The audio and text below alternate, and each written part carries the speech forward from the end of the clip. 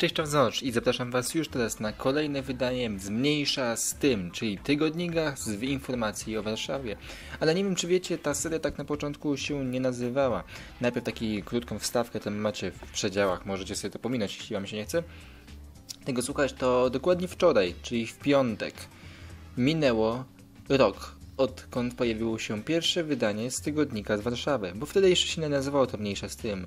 Później potem stwierdziłem, po paru odcinkach, że zbyt często po prostu mówię mniejsza z tym cały czas tym w filmach, dlatego tak się wydało. Co najciekawsze, pierwszy film z tej serii yy, powstał tylko i wyłącznie dlatego, iż było tak dużo zmian komunikacyjnych z okazji wakacji, iż stwierdziłem, że warto coś o tym nagrać. I tak Wam się to spodobało i coraz więcej tych filmów.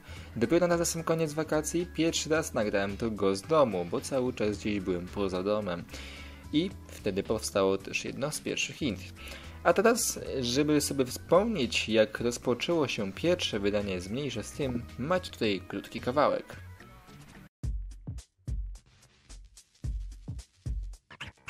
Witam Was tutaj, cześć Czemząż i zapraszam Was na kolejny materiał. No i teraz krótki skrót informacji na temat tego, co tu się zmieniło e, w komunikacji miejskiej, a jest tego dosyć dużo.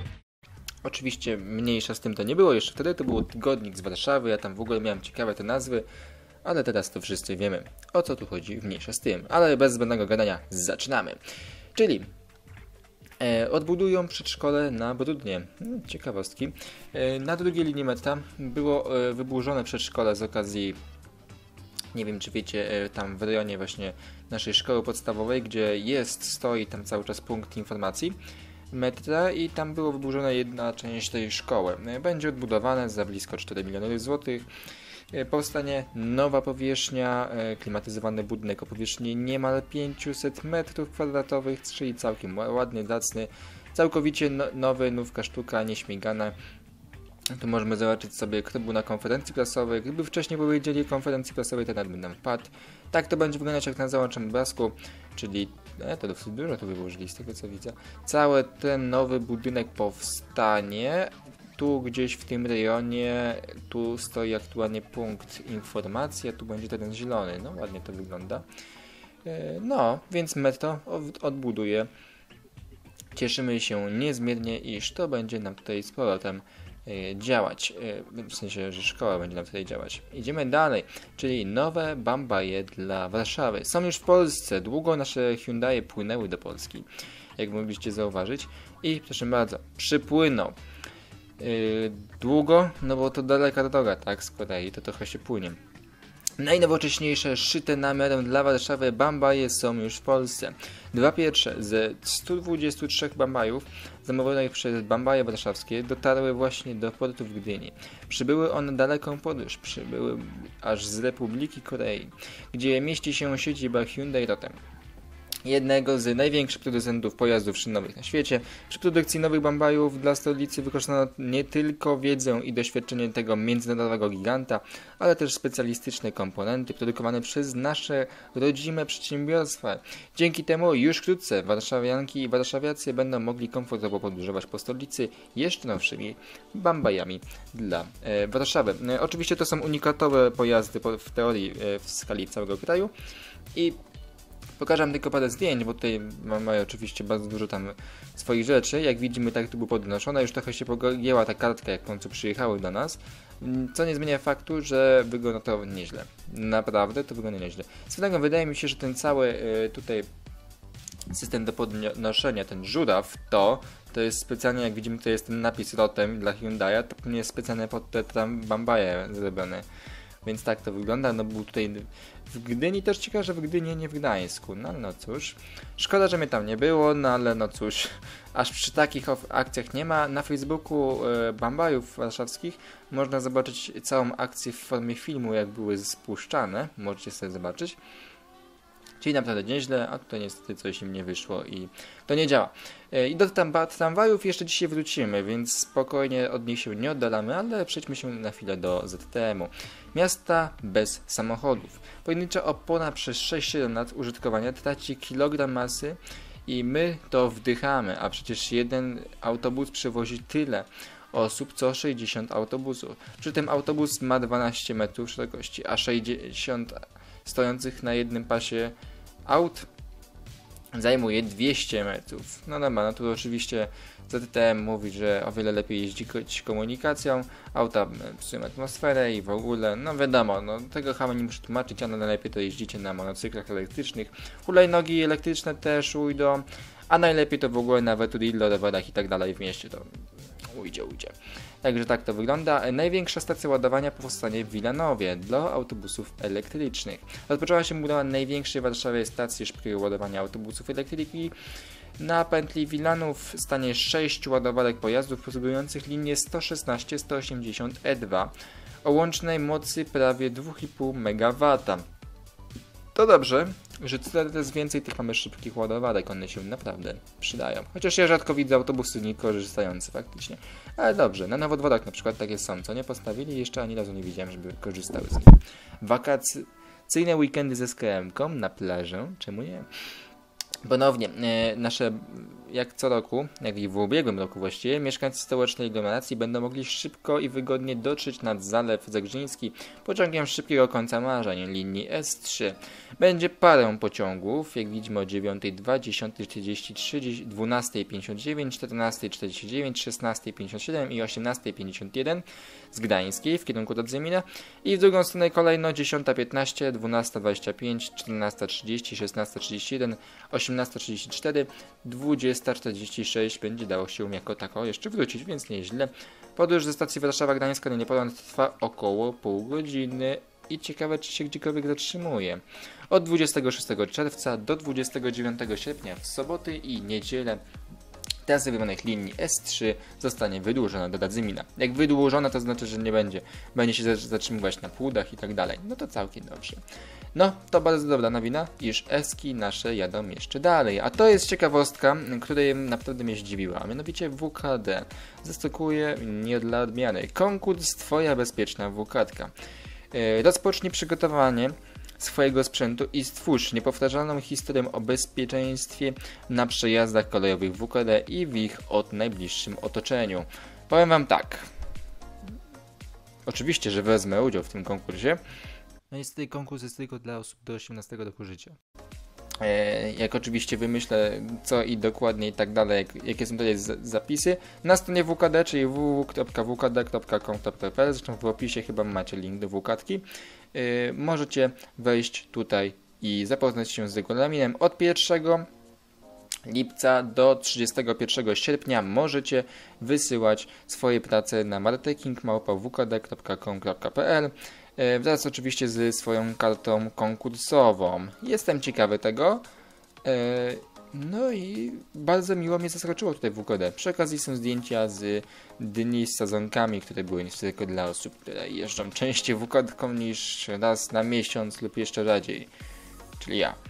Miałem na myśli. E, szanowni Państwo, bilet wakacyjny już ruszył. A mianowicie bilet turystyczny uprawnia e, sieciowy, imienny i uprawniony do, do nieograniczonej liczby przejazdów pociągiem szybkiego końca marzeń przez trzy dowolne wydane dni w, w terminie ważności biletu na obszarze ograniczonym stacjami Skierniewice, Kutno, Siepce, Działdowo, Ostołęka, no, no możecie tutaj się domyśleć. Posiada 10-dniowy termin ważności, licząc od daty wydania. Ile takie cudo kosztuje? 67 golda polskiego, trochę dużo, ale na nieograniczoną możliwość jazdy. No, no, no. Nie powiem, że nie. E, może skorzystamy, kto wie. E, akcja trwa i można go zakupić od 22 sierpnia do 31 sierpnia, czyli jeszcze na razie nie można. Bilet e, turysty obowiązuje również przy przejazdach autobusami lotniskowymi KM ze stacji Modlin do Chopina i na odrzut. Okej, okay. no dobra, to całkiem nieźle, coś mi tu myszka odjeżdża, się zawinęła z kabelkiem. Zmiany w kursowaniu e, pociągów Radomska od 28 czerwca. Jeżeli taką trasą jeździcie, zwróćcie uwagę, że mogło się coś zmienić. Newsy z ZTM-u. Tu też trochę tego mamy. Przypominamy bezpłatna karta ucznia. Remont tramwajowy przy placu bankowym. O tym więcej w Info ulicy będzie. Tramwaje nie pojedą ulicą powstańców śląskich. To też w Info ulicy będzie. W warszawskim transporcie publicznym bez limitu pasażerów można już jeździć od dzisiaj. Pociągi na plażę do Niepodentu, czyli S3 wydłużone, o tym chwilą powiedziałem. Budowa na ulicy Warszawskiej. Trwa budowa wodociągów i kanalizacji na ulicy Warszawskiej od poniedziałku 28 czerwca. Linia 177 i 197 zmieniły swoją trasę. Prace bambajowe na Mokotowie w najbliższy weekend, czyli dziś i jutro. Bambajarze zaplanowali remont torowiska na skrzyżowaniu ulicy em, Wolonicza z Pławską. Mm, Czy mamy jakąś mapkę? Nie mamy żadnej mapki. Trasę zmienia linia 18 e, i jedzie na Służewiec, ale rozumiem, że trochę inaczej. Musi jeszcze tam plac bankowy są zmiany. No cóż, no trochę się zmieniło i też zmienia się trasa dla N37. Jeśli kursujecie tam dalej, to musicie zwrócić uwagę. I przypominamy, że od wczoraj WTP zmieniło się, a mianowicie weszły w życie nowe rozkłady dla właściwie wszystkiego. Piątek, 25 czerwca to ostatni dzień szkoły i od soboty, czyli dziś, rozpocznie się wakacyjny. e, rozpoczną się wakacje. W tym urlopowym czasie zmieni się także kursowanie niektórych autobusów i bambajów. A konkretnie, no macie tutaj linie, nie będę czytać wszystkich, jest ich bardzo, bardzo dużo. Aha. E, Ponadto bambaje dla wszystkich bambajew zostaną wprowadzone wakacyjne do składu jazdy. W godzinach szczytu komunikacyjnej częstotliwość będzie co 4 lub 8 minut. Zmieniona zostanie odpowiednio na 5-10 minut. No dużej różnicy wtedy nie ma. Poza szczytem składy nie będą podjeżdżały na przystanki co 6 lub 12, a co 7,5 i 15 minut. 15 minut to dosyć długo. Metro się nie zmienia, szybki koniec marzeń. To na pewno się zmieni i popy też trochę inaczej będą działać. Także tak to wygląda. Idziemy dalej, bo no, czas nam tutaj zawsze jak biegnie z nami. Aktualnie powietrze na stan piątek wieczorem, bo ja wtedy to nagrywam jest dobry ogólnie na terenie całej Warszawy. Idąc dalej, postęp na placu pięciu rogów jest na poziomie 9%, czyli całkiem nieźle. Ruszyła budowa nowego skrzyżowania, a właściwie nowego ronda na skrzyżowaniu konstruktorskiej i postępu. Jak wygląda aktualnie przygotowanie do tego etapu? Jak widzimy, proszę bardzo, zamknięcie od 21 czerwca. Z tego co nawet pieszych wygrodzili. No nieładnie. Nieźle. E, tu będzie to rondo. Czekamy. Czekamy na wasze, wasze postępy. A, i to jest rondo, o którym mówiliśmy już w ostatnim odcinku, czyli budowane przez dewelopera. Idziemy dalej, czyli małe rzeczy, a będą cieszyć. Przetarg na szersze azyle, zielenie i infrastrukturę rowerową. Huh? Infrastruktura rowerowa tylko ma cieszyć? Oj, przecież wiadomo. Yy, I z tego co rozumiem, to będzie na Bilanach, Mokotowie i Pradze Południe. W 11 lokalizacjach poprawimy bezpieczeństwo i komfort uczestników ruchu. Z wyjątkiem jednej przeprowadzimy tam inwestycje o mniejszej skali z budżetu obywatelskiego, które będą dotyczyły poszerzenia azyli na przejściach dla pieszych, zwiększenia zieleni i rozszerzenia infrastruktury rowerowej. Przetarg już ogłosiliśmy, czekamy na oferty. To dobrze, ZDM jak zawsze nas nie zawodzi i coraz to więcej. Będzie azyli i ścieżek rowerowych. Akurat ścieżki rowerowe to powinno ich być i więcej, i więcej, i więcej. Nie może się nie domyślicie, ale i jeszcze więcej. Bo akurat z tego dużo korzystam. A wiadomo, to się przydaje. Tu mamy jakiś jeden z azyli trochę powiększonych. Ciekawe jak to wygląda. Ten zielony tutaj nowy wstawiony, dobra. Tu jest zupełnie nowa ścieżka rowerowa. Okej, to mi się podoba. I tego jeszcze pewnie będzie więcej. E, ale idziemy dalej. Modernizacja przez przestarzałej sygnalizacji w Ursusie. Podpisaliśmy umowę. Czy to jest to, gdzie ja dzisiaj jechałem na moim monocyklu? Tak, to jest tutaj. Jest ona przestarzała. Owszem, się zgadzam.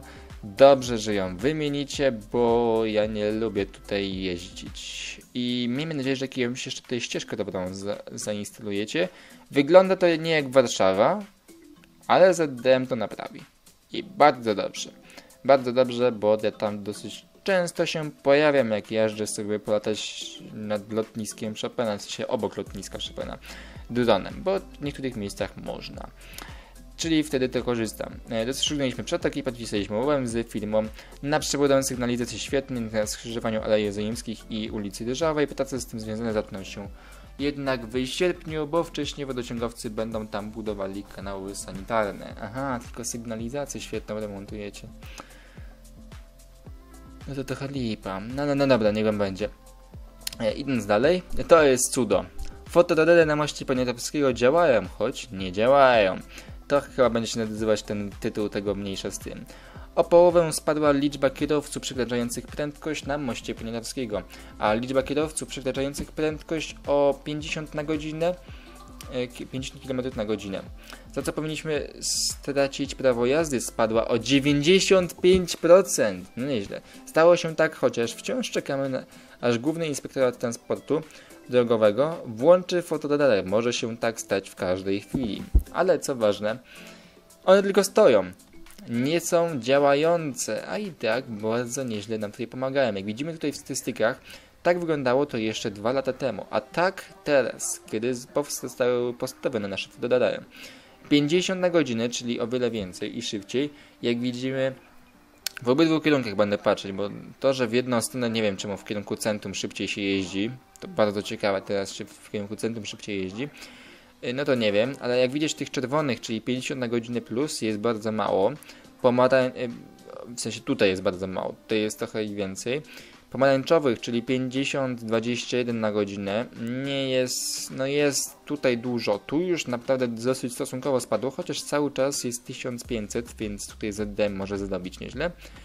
I tych y, żółtych, czyli wtedy małych 11-20 jest mało, no i tolerancja 0,10 km na godzinę za szybko jest cały czas w miarę dużo i, i się zwiększyło, przez to, że pewnie pozostałych się pomniejszyło. O to tu chodzi. Ale to dobrze. Dobrze, że coraz jest lepiej, bezpieczniej.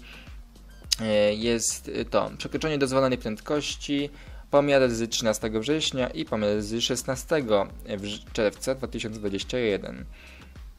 Ok, co my tu mamy? Przekroczenie o... E, a, tu mamy podsumowanie. Przekroczenie o 5 na godzinę 84%, 42%. E, nie wiem jak to mam rozumieć, ale rozumiem, że te mniejsze to jest tak, niebieskie to jest to mniejsze, świetnie, w sensie to jest to nowsze. Tu widzimy rekordowe prędkość to jest 101 na godzinę, a kiedyś było 180. Tak czy siak, 100, 101 na godzinę na tym moście to jest zabójstwo, on się sypie. W samym centrum y, maksymalna... A, to na Pragę się jedzie 180, śmieszne. 123 y, na godzinę w kierunku centrum i tak szybko.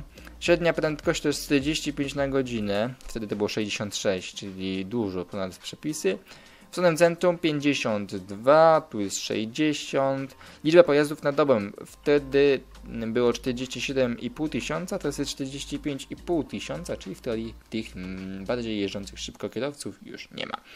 I w ten sposób to ZDM ich usunął. E, luknijmy sobie tutaj jeszcze jedno. Pandemia zmniejszyła ruch, każdy może sprawdzić o ile e, rzadziej w 2020 roku wsiadaliśmy za kierownicę. Tu jest 19, to jest 20. Do centrum i do granic Warszawy. Jeśli chcecie sobie podrównać, kliknijcie pauzę lub wejdź na stronę ZDM-u. Link postaram się załączyć w opisie.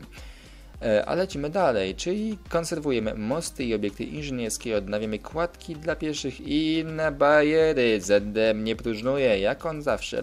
Zobaczcie, stare metalowe podrzewiałe, na szczęście ZDM to szybko remontuje, widzicie, szlifujemy szyny i w ogóle, ale to dobrze, że remontujemy akurat takie obiekty, zwłaszcza kładki te stare metalowe.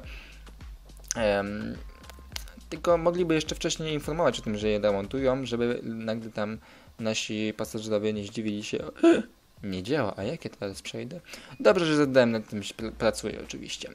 E, no i infolice, to co miałem powiedzieć. Na placu bankowym w aktualny weekend e, jest zmiana dosyć duża, gdyż tramwaje linii 13, 20, 26, 11 i 18 zmieniły swoje trasy dosyć mocno, gdyż nie ma tego tu torowiska. Autobusy jadą na okrągło, w sensie przyjeżdżają tędy, a bambory to w ogóle muszą jeździć na okrągło, tak? Teraz to już mają odjazd. Ale tam zostały prowadzone specjalne linie bambajowe, co jest ważne, wejścia do metra są tylko tu, tu, a to już nie jest wejście do metra zgodnie z tą mapką, no ale dobrze, nie śmiejmy się. To jest metro Ratusz Rasyną, jakby ktoś się nie połapał jeszcze, ja tutaj pokazuję, a to jest urząd Trzaskowskiego. Także tak to wygląda, ale jest jeszcze druga ważniejsza rzecz, którą trzeba wam pokazać, a to jest mianowicie to. Co to jest? To jest Góryczewska. Metro Bemowo przeszło kolejną metamorfozę pon- e, w poniedziałek nagrywamy, a we wtorek pojawił się odcinek z metra. Więc będziecie dokładnie widzieć, co się właściwie zmieniło i dlaczego takie są tutaj duże zmiany. Ostatnio została dokonana już jezdnia na Połuczyńskiej, w sensie na Powstańców Śląskich w kierunku Połuczyńskiej. Ale teraz ZD, w sensie metro poszło krok dalej i zwęziło tą ulicę do jednego pasa właściwie. Tu jest jeden puszczony pas, ktoś pośrodku to, torowisk. Ciekawe to jest zrobione. Jest do skrętu w tą stronę. To jest podwójna w dwie strony ulica. Tam gdzieś dalej się pewnie łączy, ją przejeżdża. E, Została puszczona też tutaj w inny sposób nasza ulica Górczewska, co już widziałem z Dona parę dni temu, więc to akurat faktycznie widziałem wcześniej. Już nasza Górczewska tutaj jest puszczona prawie w całości prosto teraz. Bardzo dobrze. E, I co ważne, co mogliście zauważyć, nie ma tu torowiska. Torowisko bambajowe zostało całkowicie wyłączone, gdyż w tym okresie będzie przełączane. O tym cyklu już parę razy mówił w odcinkach z metra, iż w wakacje mia, ma być przełączona linia tramwajowa, no bo w wakacje mniej ludzi korzysta z komunikacji miejskiej i właśnie ten moment nadszedł. E, linia 11 będzie jechać inaczej, bo do placu Narodowicza i do Czum, e, bo jest dwukabinowa, więc będzie tam mogła się przejeżdżać. Będzie linia Z10 za dziesiątkę, bo dziesiątka będzie tutaj tylko do cmentarza wolskiego i będzie jeszcze uruchomiona linia 40 od Czum do ronda Deszkińskiego, czyli tak jak aktualnie 11, tylko trochę inaczej. W sumie mogli puścić 40. No trochę pokręcili z tym nazewnictwem. Tak to wygląda, a 26 w ogóle jedzie inaczej, bo po prostu omija całą zabawę i tyle. Także tak to wygląda, lecimy sobie dalej, e, czyli wpadnie na szczepienie na bulwarach warszawskich, będzie to można zrobić teraz e, wakacje, weekendy i tak dalej. Ale jeszcze parę innych ciekawostek, czyli rewolucja. Inne zmiany w centrum Warszawy. Trzaskowski dalej nie nas zaskakuje. Warszawa ogłasza kolejny konkurs na zmiany w samym sercu miasta. W ulicy Złotej i Zgody. Zielone ulice i place mają tętnić życiem, być przyjazne i bezpieczne dla pieszych i rowerzystów. To kolejny etap tworzenia nowego centrum Warszawy. Eee, tak, jeszcze im mało, co nie? Jestem ciekawy, co wymyślą. Hmm, czekajcie, tu było coś o samochodach. E, Co z parkowaniem i samochodami? W tej części ścisłego centrum dominują samochody i infrastruktura drogowa. Każdy wolny skwer placów i ulicy zajmuje parkujące samochody. Zielone kiedyś skwery pod... No dobra, ale gdzie te samochody? Te samochody też gdzieś muszą być. Po placem Defilet działa parking podziemny, a do 2024 pod placem powstańców w Warszawie powstanie podziemny parking na 420 aut. Tylko trzeba zwrócić uwagę, że po placem Defilet jest owszem ten parking, ale on ma tak wyjechane ceny, miesięcznego parkowania i to głównie nocnego parkowania nawet, że się odechciewa żyć. A jednak osoby mieszkające w centrum i jeden chociaż pojazd, żeby pojechać na swoją działkę czy w inne rejony, muszą mieć. Więc ważne, żeby może jednak wzięli pod uwagę to, że te samochody muszą być gdzieś zaparkowane. No miejmy nadzieję, że coś o tym pomyślą. Ulica Zgoda, ulica Złota, e, plac Emilia Młynackiego, ulica Henryka Sienkiewicza na odcinku od Jasnej do Marszałkowskiej, no w skrócie tak dalej, plac Pięciu Rogów, Mielna i tak dalej, wielkie zmiany. Jest projekt wieżowca, który zastąpi Atrium International. Czy to jest International oczywiście? E, ok, zobaczmy sobie zdjęcie. Hmm. A on ma być zastąpiony? O, tego nawet nie wiedziałem. Okej, okay. biurowiec Atom International idzie do rozbiórki. Właściciel budynku Starred Rea Esta otrzymał pozwolenie na zbiórkę, aktualnie czeka na pozwolenie na budowę. Dobra, jak będziecie go wyburzać, to powiedzcie mi, bo ja będę chciał to nagrać może z drona, a to może być dosyć ciekawe i ładne ujęcia, na pewno. E, idąc dalej, Warso już nie urośnie, ale się zazieleni. To dobra nowina, on i tak wygląda bardzo ciekawie. W przyszłym tygodniu rozpocznie się sadzenie ponad 6 metrowych drzew na jednym z najwyższych tarasów w Warso. Najwyższy w Unii Europejskiej budynek ma być gotowy w przyszłym roku. Czy, ty, czy wy mi chcecie powiedzieć, że jeszcze na dachu będzie coś zielonego? No nieźle. No nieźle. Swoją na Warso może też nam by się udało ogarnąć jakoś wejście z Sykutem. Byśmy wam pokazali jak to wygląda prosto z góry. Na pewno byście byli tego ciekawi, a sądzę, że trzeba tylko odpowiednie filmy zrobić. Jakiś film informacyjny i ciekawostkowy o Warso Co wy na to? Napiszcie w komentarzach, czy chcielibyście obejrzeć jakiś film ciekawy o tym ciekawym wieżowcu. Zresztą z tego co pamiętam, sam Sykut już proponował nie jeden raz, aby może coś tam na ten temat nagrać. O, zachodni, kładka gotowa i supy i graki. No to widać, że całkiem niezłe zdjęcia. Jeszcze może mi tu zobaczymy gdzieś, jak tu chodziłem. no dobra, na dole jest już zielono, ale to chyba e, wiecie, strasznie długi ten odcinek, jak słowo wyjdzie. Luknijmy sobie jeszcze tutaj. Budowa kompleksu sportowego Polonia wkracza w kolejny etap. W ramach kompleksu sportowego Polonia powstanie hala sportowa, stadion z trybunami dla ponad 15 tysięcy kibiców, kiboli kibiców, centrum wsparcia sportu oraz nowy plac miejski z fontanną i kawiarniami. Warszawa przeznaczy na inwestycję przy ulicy Kwit Kwitkowskiej ponad 100 milionów polskiego golda. Pozostałe dosyć dużą kwotę będą to e, inwestorzy prywatni. Będzie to wyglądać ciekawie z tego co widzimy, bo tutaj są różne zdjęcia, to ładnie wygląda, a to to jeszcze lepiej wygląda. No i w końcu ta Polonia będzie jakoś ładnie, zacnie wyglądać, zwłaszcza tutaj jeszcze Bambaje niedługo wybudują pętlę w tym rejonie, bo jest planowana tu pętla bambajowa. To w ogóle to będzie odjechane. No wygląda to całkiem nieźle, oby tak faktycznie to powstało, a nie tak jak często jest takimi jakimiś odjechanymi pomysłami, że się buduje, jest plan, aby to tak powstało, a później no wiemy jak to jest z tym. Bambaje e, rozładowane już w Gdyni, czyli to, o czym przed chwilą powiedziałem. Ale jest jeszcze druga rzecz, tu jest trochę więcej tych zdjęć. Z tego co widzę, e, zdjęcia są od W. Ciekawe co to jest W, ale no dobra. A, no, wiem kto to jest ale widzę, że tu jest ich tak dużo napotykanych, że możemy sobie obejrzeć każdej strony, jak one są opakowane. Ja bym chętnie dotknął. A bym chętnie je dotknął. I najlepsza nowina, yy, mówiłem, że do Bambajów jeszcze wrócimy, czyli Warszawa. Dobre wieści dla Bambaju na Kasprzaka. Udało się mocno zbić cenę, bo aż 100, 100 milionów polskiego golda. To naprawdę dużo. Miejmy nadzieję, że niedługo rozpocznie się e, budowa. Scena została zbita podczas aukcji elektronicznej e, w tym przetargu. MMP Warszawskie prowadzą przetarg na budowę 2 3 km. Oczywiście tam cały czas jest to oceniane, wybierane. Jak będzie wybrane, to będzie później czas realizacji to 20 miesięcy i miejmy nadzieję, że w miarę niedługo rozpocznie się budowa, bo to będzie kolejna seria pod tramwaju na winnicy, która się niedługo kończy, który będziemy pokazywać z cykutem co miesiąc. Tramwaj, kierunek Kasprzaka. A jakąś inwestycję tramwajową byłoby dobrze, żeby chociaż jedna się działa w Warszawie. Tak dużym mieście. Idąc dalej, yy, ostatnia wiadomość, czyli Rzeszów. Warszawa prawie dwa razy szybciej dzięki CPK powstanie nowa linia kolejowa. 250 na godzinę, mm, szybkie przejazdy, koniec budowy 27 rok. No, świetnie. To dobrze, że powstają nowe inwestycje, niekoniecznie, że z okazji wiadomej rzeczy, ale no miejmy nadzieję, że że powstanie dużo inwestycji kolejowych, a CPK jakoś tam zniknie bokiem, czy coś powstanie. Bo dobrze wiemy, że chyba jednak większość osób na razie na niego nie czeka. Na koniec sondaż zmniejsza z tym, czyli czy w Warszawie E, zapytałem was się dwa dni temu, że dla was to będzie, czy w Warszawie jest dobry stan powietrza ogólnie na przestrzeni ostatniego roku? Jeśli nie, to czy miasto robi w tej sprawie za mało?